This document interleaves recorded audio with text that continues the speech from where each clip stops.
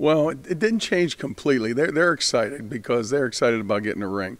The thing is, you know, I, I have two seniors that experienced it four years ago, um, and they know the emotion of the time, and, and that's something you can't make up. I mean, you can't simulate it anywhere, and I think that was their biggest regret. Plus, you want to win it on the court, and we knew it was going to be a tough game, so we were a little disappointed. But at the end, you know, I, I tried to put a positive spin on everything for them, and, and at the end, they asked me if we could practice, and I said, well, practice today, and, and they said, we want to make it a fun practice. Let's just go an hour, so we had one last practice. So we had a little bit of fun yesterday after school. Uh, I'll tell you, the range of emotions was all over the place.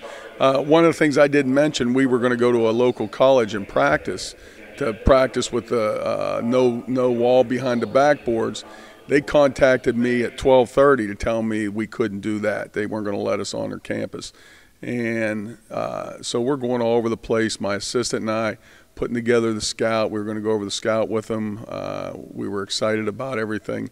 Uh, we had done a lot of research. Uh, my assistant had been down there to see him play. We had a lot of film, and they were a very good team.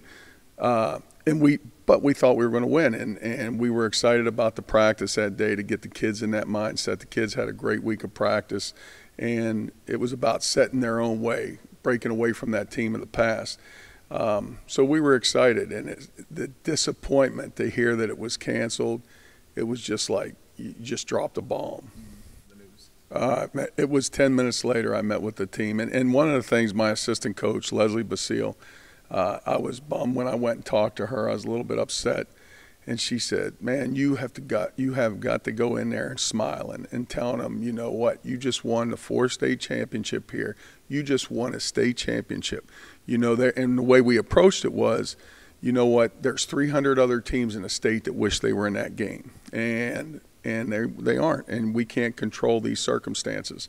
Um, so we tried to put a positive spin on it the whole time. We had a great hour practice afterwards, a lot of laughter, and, and a little bit sunk in. And last night it sunk in a little bit more. That first team we had that, that won the three state championships, I think that was a once in a lifetime team. The talent on that team, all five are playing in college that started. Uh, even some reserves are playing in college. And uh, this team didn't have that individual talent per se, you know, player to player. Uh, the one thing that they did better than any team I've had is they played as a team. They got along. Um, it really is, in all my years of coaching, probably the more most fun team I've been around.